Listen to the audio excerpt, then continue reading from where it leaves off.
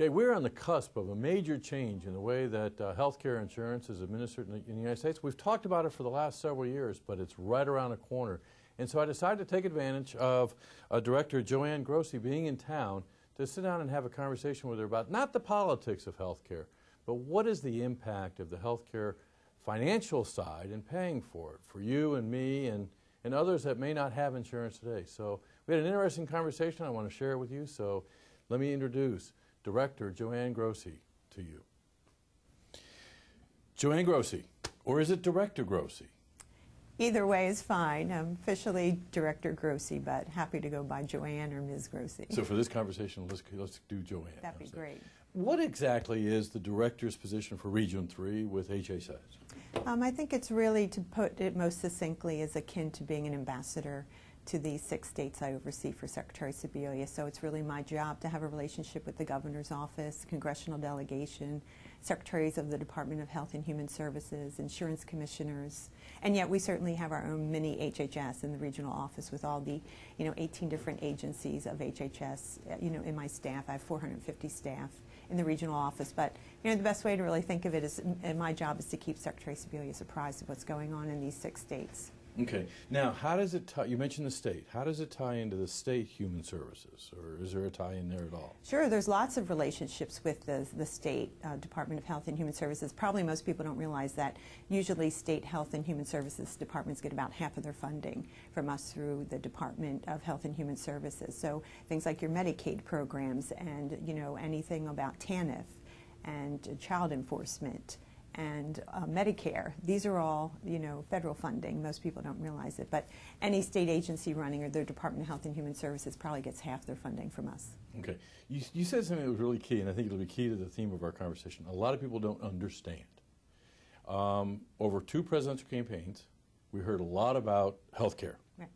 And from those campaigns in, in the first administration, health care was modified. Mm -hmm. Some would say a huge revolution. Mm -hmm let's talk Turkey. Sure. What exactly is happening now when it comes to healthcare? And I guess where should we wind it back? We went from a political agenda and, and conversation to now we have a public policy. Right. How would you summarize it to the person who just kind of woke up this morning and said things are different?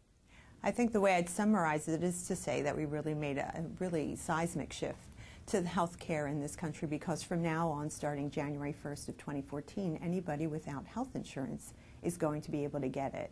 You know, right now in this country, there's 48.6 million uninsured Americans. Come January 1st of 2014, all of them will be allowed to get health insurance. And secondly, which I think is just as important, anybody who currently has a pre-existing condition, and those are things like having diabetes or mm-hmm. hypertension or cancer or arthritis or asthma, you know, everyone, those people won't be denied health insurance any longer. That's really a fundamental shift in our system. And not only that, you can't get charged more under your insurance premiums any longer for having a pre-existing condition. So a lot of people in this country who don't have insurance don't have it because they've been priced out of the system because they've had a pre-existing condition or because their employer hasn't offered it to them. Well, that changes come January 1st, and I think that's really a seismic change in our country.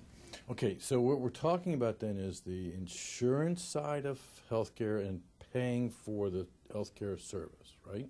Therefore, it's affordable. It's affordable. That's why it's called the Affordable Care Act. We're trying to make health care available and affordable to every American. Okay, for the person like myself, I grew up in, uh, as a military brat. Um, I went to the dispensary and everything was handled through that. And then I got on my own and I had a health insurance policy. Right. And I really haven't worried about it. If, I, if I'm sick, I go to the doctor. Right. The doctor says do this, I go do it. And I have a copay and whatever I pay for it. So is it going to impact me at all? So that's a really important point. So if you already get your health insurance through your employer, or through Medicare, or through Medicaid, or through CHIP, or through TRICARE, which is the VA system, your insurance doesn't change. Nothing's changing for you. It's changing for the 48 million uninsured Americans and those who buy their own private insurance. But if you already have health insurance through your employer or other systems, nothing changes for you. So if you're heading into the infamous open enrollment in the fall, and you, you're part of an employee base, probably just rely on the people that are in your benefits office. Right. It's still going to be the open enrollment period for whatever's true at your company for their plans. But in terms of the Affordable Care Act and the open enrollment for to get into the health insurance marketplace, it's not going to mean anything to you. Okay. Because to be honest with you, That's when I take the books home to my wife and say, "You tell Right, me you what to do." I mean, isn't that the average? I mean, I mean, it really, we kind of lay back and let it happen, right? Well, I, I hope not. I mean, I hope most of us are really looking through our plans and figuring out what works for us, but that's what's, you know, again, if you already get it now through your employer, that's not going to change for you. It's just going to be for those, again, those 48 million who are uninsured or for the people who do buy their own private health insurance. Okay, so let's go. Let's talk about the 48 million now. Uh, who many of them live in Norfolk? Who who are these 48 million? So the 48 million are really, you know, lots of working poor, to be perfectly honest with you. So there's people who work at very small businesses. You know, those small businesses don't offer them health insurance, or they're working poor. They're people like, um, or or working class, people who are waitresses or hairstylists or people working at McDonald's or other places. Um, you know, people who you know have jobs, but uh, their employer doesn't give them any health insurance. A lot of, and, and for them, you know, it's been too expensive to buy their own health insurance. So, you know, there really are a lot of people who are going to benefit. If Here for, in the Commonwealth of Virginia, you have almost 900,000 people without health insurance. So we estimate, you know, in a perfect world, you know, we will have about 900,000 more people with health insurance in the Commonwealth who don't have it today. That's super. Now, how do they plug in? So they plug in a couple of ways. First, you know, starting October 1st of this year will become the open enrollment for the health insurance marketplace. Okay. So again, if you don't have insurance, you can start October 1st enrolling through the health insurance marketplace. Now, we at HHS are going to run the marketplace for you here in the Commonwealth.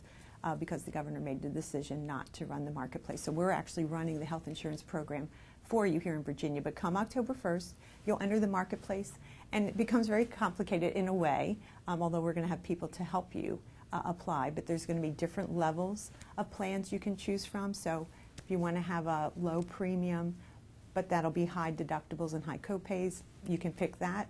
Or uh, you know, low, you know, high premium but low deductibles, low copays. You get to make choices. So there's four different metal plans a bronze plan, a silver plan, a gold plan, or a platinum plan. So you'll actually be able to do real choices there for what works for your life. If you're healthy, you might want, you know, um, a lower premium and high co-shares and high deductibles.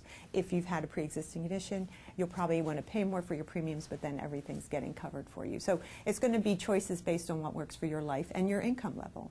Well, I mean, you actually just described what I go through in my own open enrollment. So it really is Exactly. a replacement of an insurance plan. Sure, it really is. And in fact, many of the insurance companies that exist today providing insurance through your employers are going to be the same companies providing insurance through the health insurance marketplace. I mean, in some ways, we actually think that's why premiums are going to come down because now companies that um, haven't been able to vie for your business now, there's going to be competition now in the, in the health insurance marketplace that there heretofore hasn't been. So, um, and the other thing that's really important to know, if you do buy your insurance through the marketplace and you make up to 400% of the federal poverty level, which is about $93,000 a year for a family of four, $43,000 a year for an individual, so real middle class income. Mm-hmm. We're actually going to give you the federal, we the federal government are going to give you financial assistance to pay for those premiums. So that's the other way we think we're really making this affordable for people is that we're actually going to give you financial assistance to pay for the premiums if you purchase it through the health insurance marketplace. Okay, what is the health? What is the health insurance marketplace? Is it a building or an office somewhere, or is it a website? Right. It's it's virtual, right? It's Okay. a it's a website. So there's going to be four different ways you can apply for your insurance. You can do it online, by phone, by mail, or in person. But you're right. The best way is going to be to go online. Think of it as like Expedia for health insurance. But you're actually going to enter a portal, put in some information about yourself, and then actually all different kinds of health insurance pop up that you can do real comparative shopping on. And again, the way I described it, the way that works for your life. If you want to have, you know, a lower premium but higher co-shares and deductibles, or if you want to have a higher premium and lower co-shares and deductibles, you get to pick. It's a real apples to apples comparison. And even within those metal plans, you get to pick from different plans. So it really does work a lot of the same ways you're working now, except actually the difference is you're going to have choices from more um, health insurance plans that you probably do right now. Well, let's take it personal. We all know now that my wife is going to tell me what kind of insurance to get come this October. I have one, another daughter who's married to a federal employee, so they're set. Right. They don't have to worry about a thing. I have another daughter who's self-employed in the arts, Mm-hmm. and right now she's been doing uh, self-insurance, kind of expensive. Is she going to be eligible to do something like this then? Mm-hmm. Right, she's perfect, the perfect person we're talking Uh-huh. about. So, by the way, I do want to remind you, though, if your daughter's up to the age of 26, she can still stay on your plan. So young adults up to the age of 26 can still remain on their parents' plans. I just want to remind you of that. Well, That the viewer, the viewers that watch the show know that mine are older than that. But yes, okay. So up So to 26, they're on your. They're, They're on your allowed to stay on your plan, which was, you know, a, a- a result of the Affordable Care Act passing. So that's really important. We've had 3.1 million young adults get health insurance now who didn't have it before. So that's been a really important result of the Affordable Care That Act. is important because that really is a transitional period Mm-hmm. because they're not really established in a job where they might get benefits. Right. And yeah, so it is a good safety net then. It's been a great safety net, and like I said, 3.1 million young adults now have health insurance who didn't. So obviously, there's millions of families out there and parents who appreciated that provision and are taking advantage of it.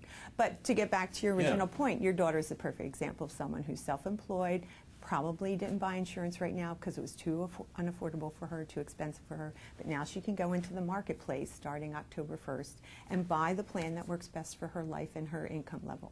So even though she might have something that's very expensive and she's made the decision to pay for it, she couldn't pull out of that and get into this? or Yes, absolutely. Okay. So there really during are a the open enrollment period. And again, the open enrollment period starts October 1st of 2013 and goes through March 31st of next year. Okay, and we will uh, we'll air the the websites and that, but really getting information. So that website, you don't have to wait till October to go to it, do you? Well, there's a website right now, Okay. healthcare.gov, so www.healthcare.gov, all one word, healthcare.gov. You can go now and get some preliminary information about what's happening, information about the Affordable Care Act, and then you can even um, get alerts. So if you sign up, you can get email alerts, text messages, tweet it. Um, to find out uh, more as we get closer to the open enrollment time, and including being alerted when it's time to actually start enrolling into plans. So it really is easy to get plugged in. We think so. Um, of course, you know, the, the key is information and getting the message out there to people that come October 1st, you can start enrolling in affordable, quality, comprehensive health insurance. So on the insurance side, just go to your iPhone. Uh, Son of a gun. absolutely. Wow. Okay. Now let's. You mentioned earlier though about uh, healthcare cost and, and delivery of service because that's a, that's has been an issue through the whole conversation about. Uh, Again, going to the doctor, the doctor, my primary care physician says you need to go see a dermatologist. I go and make an appointment. They ask me about my insurance. I tell them what it is. I have my appointment. Will the person who's going through this plan be able to get the same kind of health care? Yeah, that's why I said a, a minute ago that it's really quality, comprehensive Mhm. health care. And, and again, this is important, and I'd, I'd actually encourage people to go to healthcare.gov to find this out. But under the, um, uh, you know, under the health insurance marketplace, any plan that's participating in the marketplace must offer what we're calling essential health benefits. And it's 10 different categories of services. So it's things like preventive services and maternity care and emergency services and pharmaceutical uh, services. So I encourage people to go, you know, look at that list. But any, um, you know, any plan participating in the health insurance marketplace, and therefore anybody buying insurance through the health insurance marketplace gets comprehensive quality health care. All these categories of services must be covered.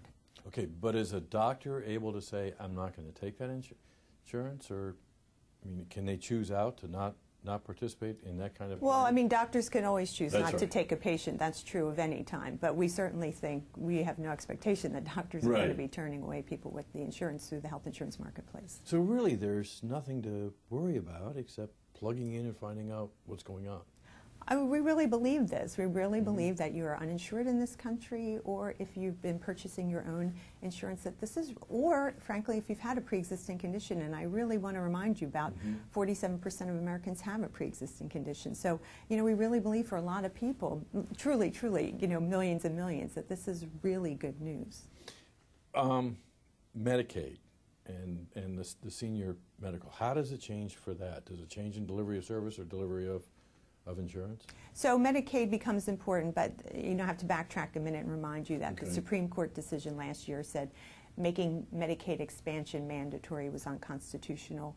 Making it optional for states was constitutional. So each state now gets to decide if they're going to do Medicaid expansion. So under the Affordable Care Act, Medicaid expansion means up to 133% of the federal poverty level, which is only about $14,000 a year for an individual, about $30,000 a year for a family of four. So it was a way we were really trying to expand the safety net for the lowest income and, and working poor really in this country. Now, um, you know, Governor McDonnell is, is still not final on his decision about Medicaid expansion. Um, but if you do do Medicaid expansion in the Commonwealth, all those people will actually get their health insurance again through the marketplace. We actually say you don't enter any wrong door. If you go through the portal, the system will actually tell you you qualify for Medicaid, you qualify for the health insurance marketplace, you qualify for CHIP uh, you qualify for Medicare. The door actually it actually leads you to the right path. So we keep saying there's no wrong door. You'll actually be told where to go and, and what plans you qualify for once you enter the door and enter some information. Well, I remember uh, several years ago when Medi- Medicare changed. Right. And there was the Plan B, and there was the Option G, and there was all these choices, and Part people B. who were of the age were saying, "Oh my gosh!" And it didn't seem like there was a place to go for information, but now it does seem like that that option's been filled. Yeah, that option's going to be filled, and, and on top of that, again, we think that's really important that there's no wrong door. You're just going to enter the same door for all these different systems. But secondly, you know, we understand it's still a complicated process, so we're actually giving funding, um, especially to states where we are running the system for you. We're calling those navigators. So we're giving out grants and funding to organizations so that they can be trained, so they can actually help people apply for the health insurance. Well, you just anticipated my next question. If for that person that wants to have somebody to talk to about this, then there will be somebody here that might be able to talk with them. Absolutely. Again, we're giving out funding. The application process already opened up for people who want to apply to become navigators, and as the name suggests, to help you navigate the system. Um, so we're, uh, you know, uh, again, this, the application period already started for funding for navigators. That funding will be awarded this summer, and navigators will get trained so that come the fall, they can be helping people apply for their health insurance. So we, will you be putting these navigators like in Norfolk and that in, in certain They have to cover the state. There has to be people all across the state helping people apply for this and apply for the insurance, right? So I, I'm going to ask the infamous closing question. What have I forgotten that needs to be talked about? It really sounds like it's going to be so much simpler just to plug in and find out what's going on than it appeared to be. I think so. And I really, the other thing to know about is that come June, we're actually launching a uh, 1 800 number. There's going to be a call center established. It actually starts in June, even though enrollment doesn't start until October. But this is going to be a call center operating 24 hours a day, seven days a week, including holidays. You could call 5 o'clock on Christmas and somebody will answer the phone. Um, and so this is also going to be a way people get you know, some questions answered ahead of time and assistance when they're actually ready to apply. So I think it's also important to know we're really trying to think of all the different ways we can inform the citizens and to get them ready for when the switch turns on on October 1st. Well, I think it's ironic that you said Christmas because I'm, I'm, I'm fairly confident as I started off, there's been a heavy discussion, very public discourse about this topic for what, the last Three six- years. yeah, at least. But I am fairly confident somebody's going to wake up Christmas morning and say, wait a minute, isn't something changing on January 1st? You're ready for that? They're ready. They can call the call center on Christmas Day if they want. I'm going to come back full circle. We, I asked at the very beginning uh, what I should call you, and clearly you're taking this very personally. Uh, so I'm glad you let me call you Joanne, but you're enjoying getting information out, it seems. Well, I, I think it's so important. I, I am a public servant. I work for the citizens of the Commonwealth. I take that so seriously. And to me, to realize that there are almost 900,000 citizens of Virginia who don't have health insurance. I mean, that you and I take that for granted every day, right? But you know, that really is the foundation of everything, isn't it? Um, and so it's so critical to have health insurance. It's literally life and death, isn't it? And so to know that there's 900,000 people in this state who can get health insurance, you know, starting January 1st and who can sign up October 1st, I can't think of anything more important. So it's so such a passion of mine to make sure the word gets out to everyone. So I guess you know it's a matter of really you know plugging in and knowing what options and what door to go through. Yeah, I really encourage people to go to healthcare.gov, and I understand that not everyone has a computer and not everybody can get online, but you know, please find a way to do that. If that means you know going to your library, which we've been working with a lot, um, you know, to have somebody help you get online and learn about it, it's really worthwhile to learn all about it and to get alerted any way you can of what's coming up. Joanne, I want to thank you because you made something that I thought was going to be really, really complicated seem much easier than I ever thought it would be. Well, thank you. I really appreciate that. that's very kind of you, and thanks for having me. I really appreciate the opportunity. My pleasure, and- and thanks for joining us right here on Norfolk Perspectives on location.